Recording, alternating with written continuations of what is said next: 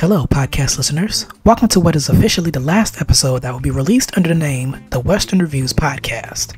I've recently renamed the show the Pic-a-Flic Podcast, which I do mention during this recently recorded segment with my frequent collaborator John from the Movie Lovers Unite podcast, where we discuss a bevy of topics including the Superman title renaming, the Dune Part 2 box office forecast, which since said recording had one of the best US box office opening weekends for a Hollywood film since Barbie last year, remakes of The Crow and Bob the Builder,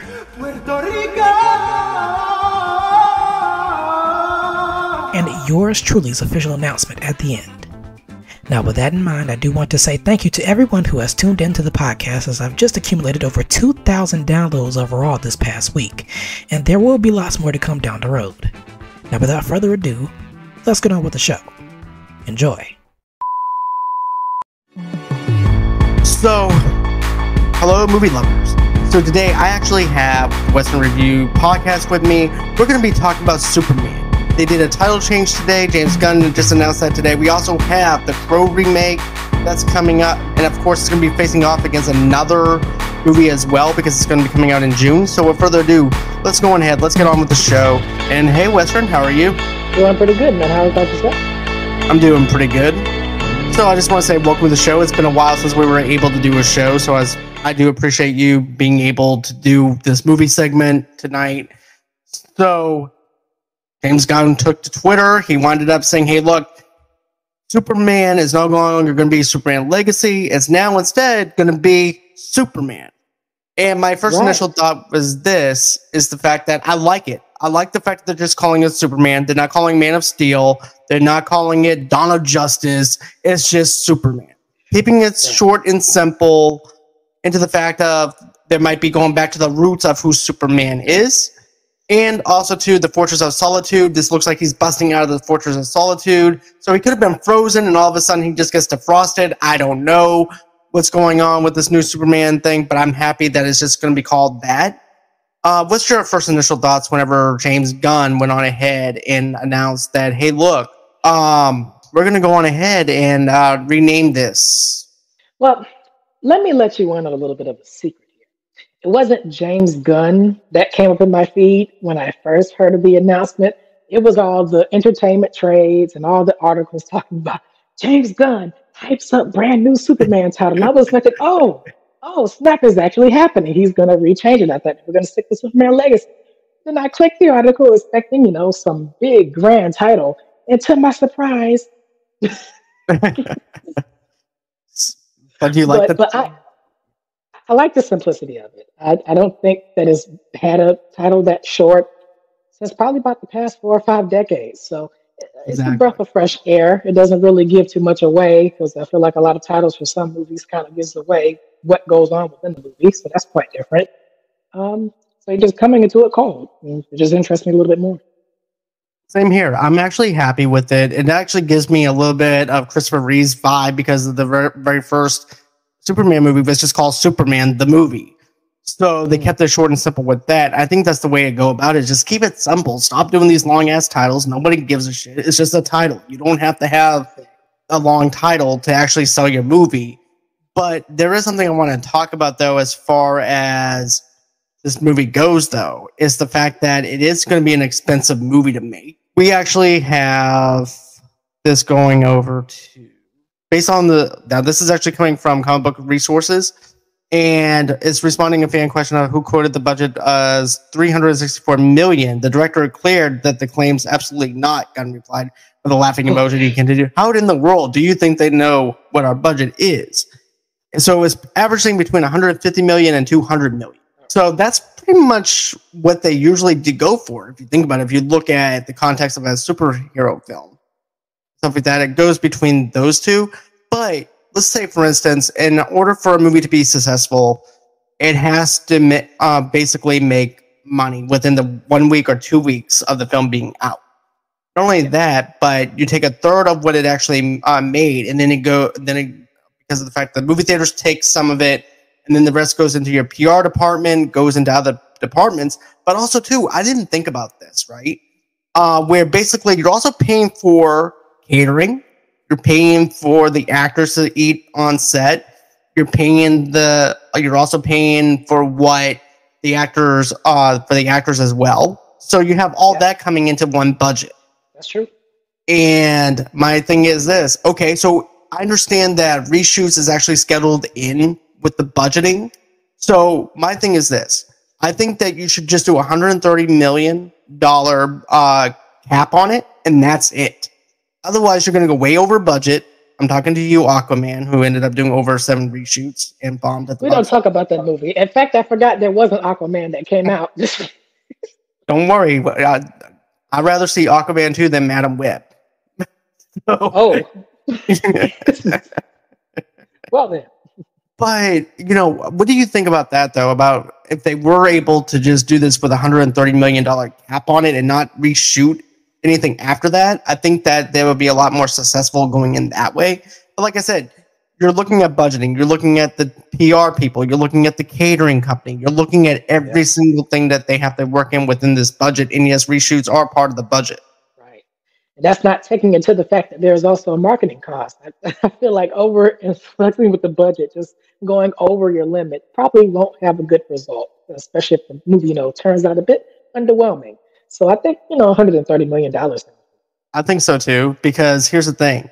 You need to make this thing happen. You because of the fact of how bad DC has been in like the last couple of years. They need a home run. If they do if they if they strike out with this movie, that's it. That's game over, lights out. You might as well just wrap up the whole entire thing. James just needs to go back to Marvel and that's it. if that's the case. But I'm rooting for this. I'm rooting for James Gunn. I'm rooting for this movie to be successful. I never root for a movie to fail or anything like that because I believe that a movie has to needs to be a success. If if comic book movies fail and bomb, they're not going to make anymore. And Marvel, yes, you have been bombing. Yes, people have been fatigued because it's not comic book fatigue.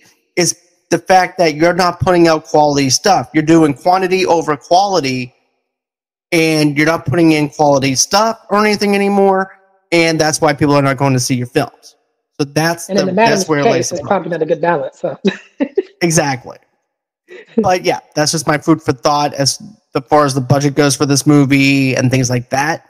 Uh, so what do you want to talk about next? Uh, well, did you want to mention the latest casting really quickly? I'll let you do that. Okay, well, I forgot the character's name already, but Wendell Pierce from The Wire is going to be playing character. Uh, Uh, Perry White. Can you have the, Perry White? Yep. Uh, I can't. I don't remember that character's name. It's so much about Superman. I, I'm just so That's because you didn't have- itself. I don't blame you. You had Morphe. Mor- you, you actually had Morpheus from The Matrix, and they're playing uh, Perry White. So I don't blame you for forgetting who Perry White was. It's hard to top someone of that caliber. Uh, you know what I mean? It starts with Superman, then Lois Lane, then Lex Luthor, and the, the characters so- are in and out. But still, I'm excited that he's going to be part of this. I'm excited that he's going to be Perry. White. And yeah, I think now it's time to actually start thinking smart. Start instead of being reactionary to every single thing. I think now that they're actually paying attention. So, and having James Gunn doing this and every, uh, doing this, being in charge of uh, the DC properties, I think it's a good move. For sure.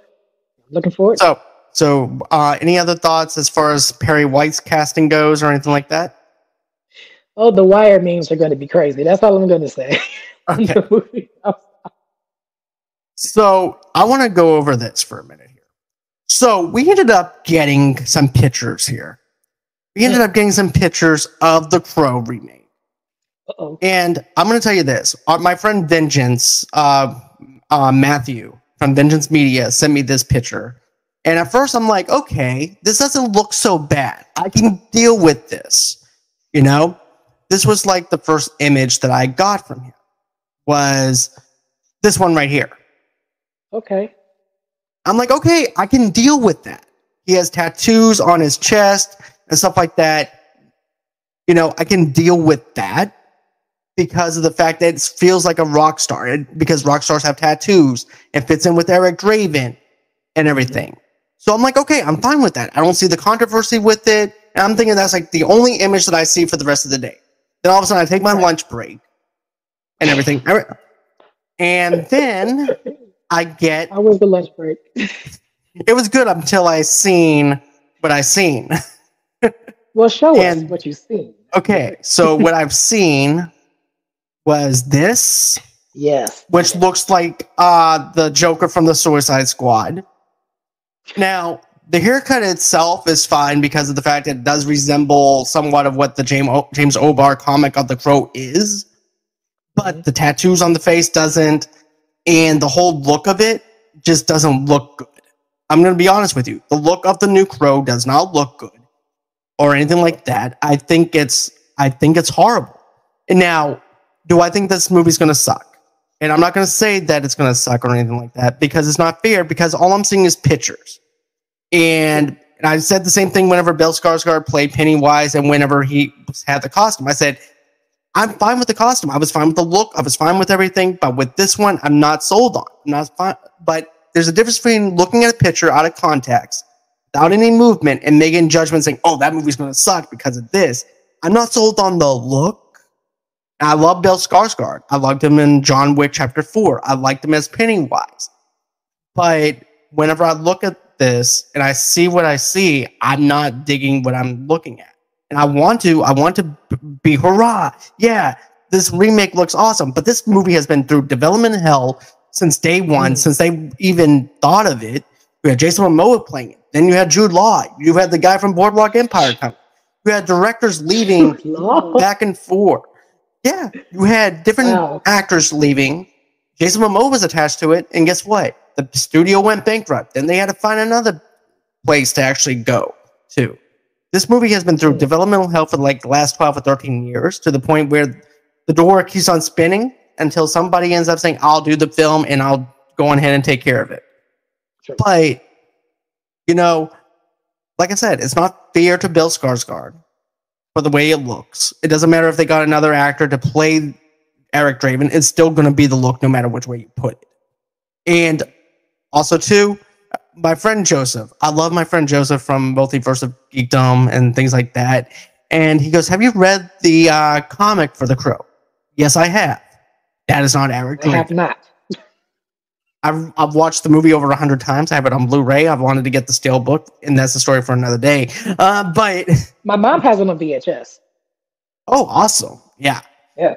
Uh, but okay, let me show you this. So this is what the remake is supposed to be based off of.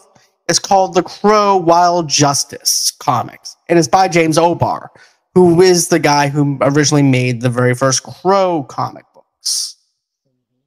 And so basically, I guess he pissed on his own comics. I don't know what he did, but I just I just don't like the look of the comic book. I'm sorry. I think it's the fact it's the whole nostalgia thing for me, where I was actually grew around Eric Draven versus this comic book character, and I didn't know that this other comic existed. I thought it was just the Eric Draven comic, and that was it. And I thought maybe the other issues might have been just centered around Eric Draven. But when you look at all this and everything I'm telling you about, what what what do you think of the look of the Crow? What do you think of this remake and the whole idea of different directors and actors coming in and then they're leaving? So I'm I'm glad that you're able to have your sanity for these next couple of weeks because you do know the trailer is coming soon, right? It's supposed to come out in June. So just be prepared. Um, I don't really. I'm, I'm trying to come in with high expectations. You know, Crow was a little bit before my time. I know it's a big, big hit movie. Was it? Is it a cult classic? It It's a cult classic, a cult, cult following. I was about 10 years old when I seen this movie. Not only that, but this movie didn't really make that much. mo- The original one didn't make that much money uh, in the box office at the time, 1994. Uh, let's see. I'm looking at the box office thing right now. Um, uh, because of the fact that I like this movie so much, Yes. and I understand that it was a flop at the box office. Okay, so it was a $43 million budget, and how much did it? and it made $50,693,000, 120 with Okay, yeah. so they made the budget back. And, worldwide uh, total 93.7 million. Right, and probably ninety six cents. Probably could have gotten you know a drink from McDonald's if you get the market Right. taken care of. but back to the, the my point earlier about the images.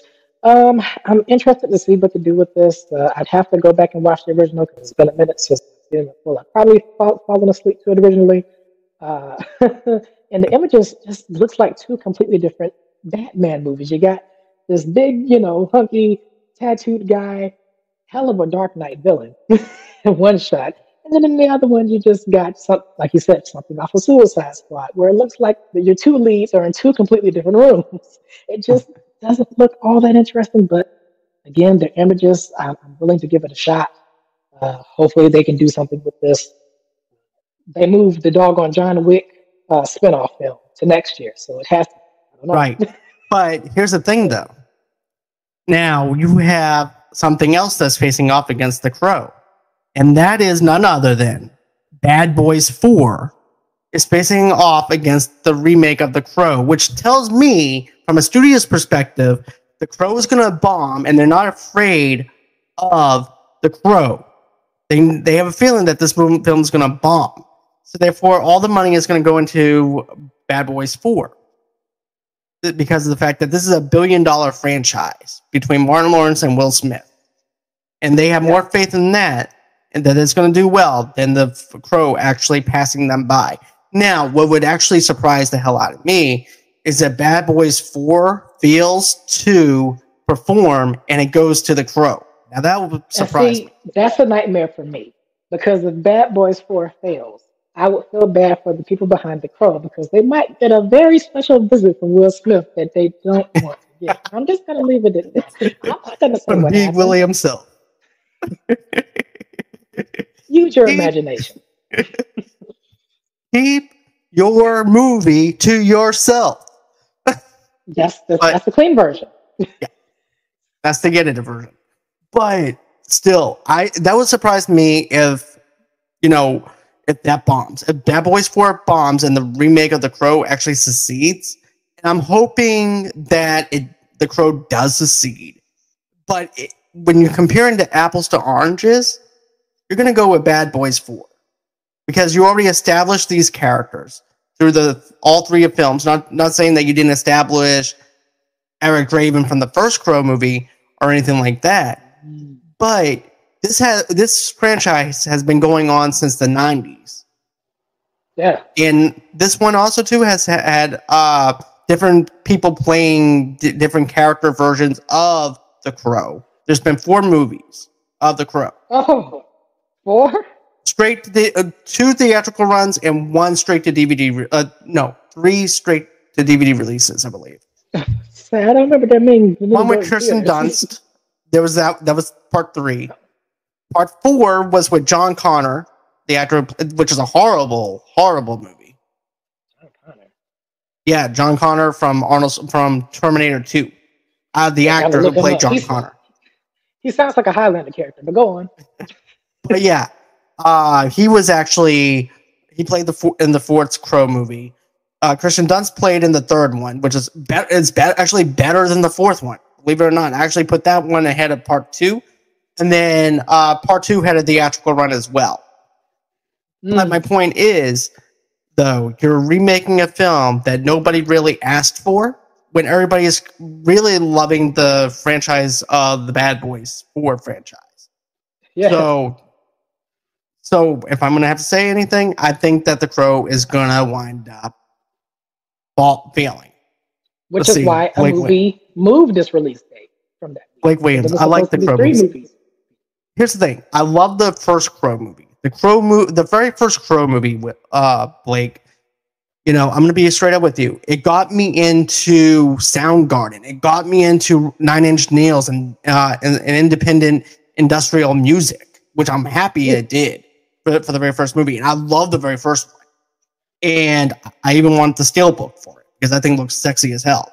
Um, but and you know, and I also have it on Blu-ray. I also owned it on DVD. I also owned it on VHS. So I've yes. been through all the stages of the Crow. With, you with are a Crow super fan, and I like a- aspects of the second one. And it, and we do have Thomas Jane in the second one uh, mm. before he became the Punisher, before he was established as an actor. In that one too, it just didn't land for me the way I wanted it to. And I yes, I do own the second one, and I also own the third one.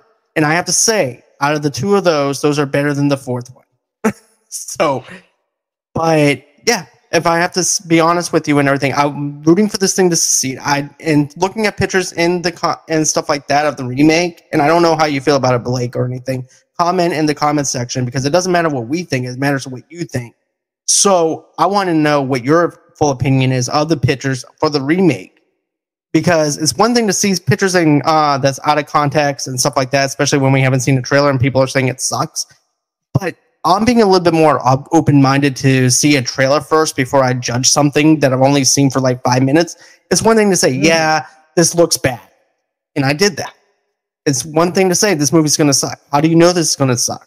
You haven't seen anything yet other than still pictures. So just be a little bit more optimistic, a little bit more open minded, a little bit, let it marinate a little bit, and see what you get. But, anyways, uh, so we're going to go on ahead and go into our next subject here. So our next one is Dune 2. Dune. And I love the very first Dune movie. The Dune 1, I loved. I loved the whole entire wide angle shots. Okay, this is what he says. This is what Blake says, real quick. Uh, Blake says it doesn't look good, but I'll keep an open mind to the trailer. Yeah, that's all we have to. Mm-hmm. That's all we can do is just be an open minded to the trailer, see what they give us, and I'll even do a trailer reaction to that as well and put that up on the channel whenever it gets released. And I'll give you my full initial thoughts of what I think of it. But yeah, so let me go on ahead and talk about this for a minute. So Dune for me, I really loved it. It just opened at a bad time because of the fact that number one, Max, this HBO Max decided to put everything on streaming. Everything for a movie like Dune to succeed, you have to have it in the theater for that theater experience. That's the whole point of Dune, because of the fact that it's such a episodic movie, to be honest with you. For sure. And it's got sci-fi elements in it. It also has religion. It has different ty- characters in it. It has these wide angle shots of the desert. It has different beats that deserves to be on the big screen. It does not Beautiful. need to be viewed on a smaller screen, on a smaller scale, because it makes it feel small in scale. To the yes, I can have the best sound bar, the best TV, but you're downing it down to a scale to where you can't see everything. And this, and that's what I have to say about Dune One is the fact that it's a great movie. It deserves to be out in theaters for people to see. The biggest mistakes that HBO Max made at that time before Zaslav came around and destroyed everything that everybody else is doing right now.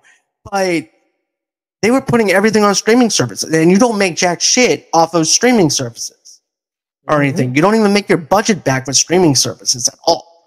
And so that was one of the main beefs that I had with the fact that they decided to do that, and they lost money because of it, and it also made Christopher Nolan leave because of the decisions they were doing and stuff like that too. And so with Dune One, it made about 400 million, somewhere around that area. And it did good, but I think that this time, I think it's going to end up making more than that. Of and course. that leads me to my question. Do you, as in the audience, and also to you, Western, do you think that this movie could make a billion dollars? Whew, that's that's a toughie. That's a toughie because remember it grossed 12 million in Thursday previews yeah. before officially opening everywhere else in North America today, and doubled the 55.1 million gross in previews by Dune in 2021. Although the movie was was hobbled both by the pandemic and the decision to distribute, like I said, on HBO Max. Right, and that's the thing I was about to get into. Sorry. Uh, it seems like uh, Max, since they want to take the HBO off the title, they're just Max now uh, trying to do something similar again by putting uh, Dune on streaming relatively early this spring. So, forecast it could be out by the end of April, early Mayish. But I think they should probably just let it breathe out in theaters for a little bit before putting it out in streaming. That's really the big factor and big concern that I have when it comes to this having a chance of making a billion. Not saying that it's not possible, but the fact that Max once again is trying to put it on streaming early than it should be. Right. And here's the thing. Okay, so maybe what I'm thinking that Zaslav or Zoloft is doing is this. I'm thinking that okay, we're gonna put this on streaming, but maybe people might actually like like it enough to want to go ahead and get that big screen experience from a theater. So maybe they might want to go ahead and check it out on a bigger screen because they've already seen it, they already know what they are expecting. So maybe they might want to go out to the theater. My only thing is, why don't you just go ahead and put about 20 minutes on on Max, give them a taste of what they are expecting, and then take it off. When it gets to a good part, snip it. yeah. And then you go to take your butt over to the theater and you enjoy Dune 2 if you're that much invested into it. And then you delete the sh- short clip within a month or two. And then you right. put the uh, whole movie up on Max. That's the way I, that's what I'm thinking. Right. Because if Nicole can do uh, Nicole Kidman can do it, you know, so can you. And I think they put Nicole- a preview out there already. oh, am I? T- Hey Gomez, yeah, uh, we just got done talking about The Crow. We're now talking about Dune Two, and uh, you can go on ahead, rewind it back, and everything if you want to watch the us talk about The Crow. But if you have any questions or whatever, we'll also be taking that too, as well. So go on ahead, comment below, and we'll take your question if you want to. Um, sorry, that's quick one. No, no, no, it's fine, Gomez. I understand you're doing a podcast as well, so that's Gomez from the Sleepy G Show. Go ahead, check him out on on the YouTube channel and everything too. Uh, but yeah, um, I just want to say I think that Dune has a potential of hitting that billion dollar mark because of the fact that I know everybody's like, well, Rotten Tomatoes is not a good source for getting anything. My thing is this I always pay attention to the audience score versus the critic score because the audience score is the one that I pay attention to the most because I am an audience member. So therefore, I pay attention I, to that. I am score. too. So yeah, so therefore, that's what I would do. And because so, I am not a higher tier critic getting endorsements, so I am still an audience member. by the way, you can reach out to me at movieloversunite at gmail.com and thank you, AMC Theaters. Um, but, uh, but yeah, what I was going to say was this I think that it can make a billion dollars. And I think, especially with it being 95% on both ends, and this is the first time there's not really a split between the audience score and the critic score. And both right, sides. The critics it. usually in the 90s. And the audience right. is usually in the 80s. Right. So it's rare to see that. Uh, I'm excited to see Dune 2. To be honest with you, this is actually, and I, and some people are like, well, I don't know if people would actually spend money to go sit through a three hour long movie, uh, or anything like that either. But I'm like, here's the thing though. If you go on ahead and give us a good plot, a good story, and everything, make us feel invested from the very first Dune movie, we will sit our asses down in those seats and watch Dune. Now, movies like The Irishman and stuff like that, and um, Killers of the Flower Moon, yeah, it didn't make much or anything like that. It's a great; those are great stories. They're entertaining, but I wasn't something that people, I think, were glamoring for. Dune is something that people are glamoring for because of the episodic type of vibe from it. Now, what do you what do you think? I agree with you, man. I, I enjoyed the first Dune. Um, since this is an alien story to me, I did not know on. The characters were new to me, but I really did enjoy the whole scenery, the production design. It was very crisp. The cinematography was very strong. Uh, it left you a bit on the, on the on the cliffhanger, expecting what would happen in you know this one. So I'm looking forward to see what they do here. Uh, hopefully, they give some more characters more screen time and more development. I may or may not be talking about Zendaya with that comment, but I'm just intrigued what they did. I'm fine with the fact of how they ended it with Zendaya because of the fact that they're going to give her more establishment in the second one. They're just trying to say, look, hey, we have this actress in this movie, and she's going to be a bigger part in the second half, second part. And right. so, therefore, and I'm used to watching TV shows, so the way they cut it off was perfect for me. if someone is going in for the like, the cinematic thing of it not just not just ending everything, yeah, you're gonna be disappointed. But because of the fact that they just ended it and I'm used to watching TV the way it is and they just cut it off and end it, I'm just fine with it. So um so what else do we have on the docket? What else did so we actually have we had talked about how the crow is battling up against bad boys 4 we talked about J- dune with the box office forecast we also talked about Superman changing their title. Uh, let's see here. Now we are going to go on ahead. I know that you were talking about Bob the Builder. Having his movie? Yeah, he Why? is. He's getting a remake. Well, I, you know, it's the trend. They're bringing things back. Uh, you know, as as someone who is uh, Gen Z, I've had a enjoyment enjoying a lot of childhood shows when I was growing up. Bob the Builder was one of them. Um, e- except that you know, in this version that they're trying to do, they're trying to make him a you know a Latino uh, bodybuilder. His name is Roberto. And uh, Anthony Ramos, who I believe is going to be in the Twisters uh, remake movie that's coming Yeah. out this summer, he's Yeah. playing the role. And Jennifer Lopez is one of the producers. Um, so I, I think the story revolves around Bob trying to go home with, you know, with his with his friends and tools and stuff. They, they try to get it to where he is. I, I'm not sure. The plot's kind of murky now. It probably will change. Who knows? Um, I don't know why it exists. but here we are. The last update we had about it is that uh, there's a bidding war between uh, I think DreamWorks is in there, Amazon, and I believe Netflix. Netflix or Paramount. The three big. More than likely, probably Paramount, I think. Yeah. Yeah. But my, my thing is, why didn't they make one about Handy Manny? He's an actual another character from my childhood growing up. That's actually a Latino character. Why didn't he get a remake? and Bob is turned into a Latino. It could have been a crossover. I'm Right. I'm confused. I'm confused. But I'm sure. I- It's just one of those things that I just won't understand when it comes down to things like this. Also, too, are kids even watching Bob the Builder these days? I don't even know. They, they've had so many show spinoffs of it. I don't even know if there is one currently on. But if it is, I'm sure somebody is watching it. It's not Paw Patrol. Because you know Paw Patrol's the way.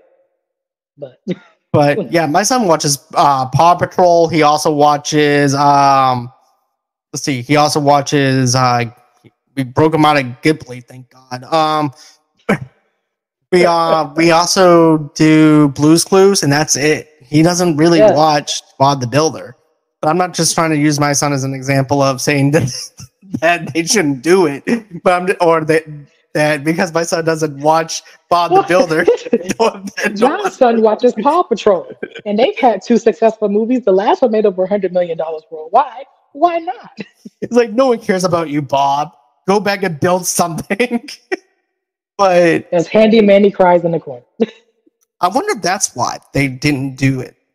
They didn't make a handy. I wonder if that's why they decided not to make a movie about Handy Manny. Right. Probably not as recognizable as Bob. And No, the it's voice think about it. was, uh, Handy uh, Manny. yeah, yeah. and his voice actor is a, a strange fellow. But yeah, you know, Yeah, I can see why it would go well on the poster or the captions. we're gonna make a handy manny, and people are like, who's handy? I just don't. now that I I- think about it, yeah, that makes sense. That makes sense. You got it. but okay, I want to talk to you about something else though too. Do you see Deadpool making a billion? Now Deadpool is Yeah. a possibility. Wasn't the last one? I don't know how much the last one. Was it close to making that, or did it? Hold on, let's see. Did did uh Deadpool two? Put that in. Okay, so it made seven hundred eighty-five point eight million. Close enough. Yeah. So it made bank. It made its money and everything. So yeah, I see it making about a billion probably with this one. and it helps that they got Wolverine on board this time. Yeah, and that's gonna give everybody to go in there and check out uh, the next uh, Deadpool movie though too, as well. Because I'm excited for this new Deadpool movie. I'm excited the fact that they got um, Hugh Jackman back for that role and got him out of retirement, just Yeah. so Ryan Reynolds can troll him the whole entire time, and they can yell at each other. That's gonna be So, yeah, I, I'm definitely excited for Deadpool 2. Um, I'm trying to think if there's like anything else that I wanted to talk about though. In advance. No, Bob is not gonna make a million. I'm sorry. No, no, no, no, no. He's better off tell in you making his building his own bank before he even decides. Uh, he can build stuff. He can fix Right. stuff. And no one else can build it but Bob. Right, yeah, but Bob is not getting there. It's Despicable No. Me though is gonna make it this year. But not Bob. But okay. So I think that's everything I had wanted to talk about as far as this goes. Um, I think that uh, I still gonna hand, basically gonna go ahead and say this on the record that Dune Two will make a billion. Okay. Everything. I I I believe in it that much that it will make a billion. I think The Crow is gonna wind up not performing like it like, even though we have a cult following of that film. Um, yeah, Bad Boys is gonna be a threat. Yeah, Bad Boys is gonna be coming for The Crow. So uh, then the uh, then the new Superman title, we both agree that we both like the title. So yeah, that's pretty much it as far as this show goes and everything. Gomez will be joining me on the 10th. We're going to be doing a Ghostbusters 1 review. But before we end, Western, I'm sorry, man. I forgot at the very beginning that you have a little bit of an announcement to make. So, what's oh, your announcement? Right. You're going to make a Handy well, Manny movie, right? No. That would have been funny if I was thinking about it. Ladies and gentlemen, I'm making a Handy Manny movie. Featuring Michael no, Bay. That's, that's, oh no, no, we can't get him on there. Everything starts exploding. No, we can't have that. No, uh, my announcement is that uh, I, am happy to announce uh, my new name for well, what is going to be used to be the Western News podcast. Can you give me some drum roll, please? Uh, how about this? I got it sounds like you're knocking on a splinter. Hold on.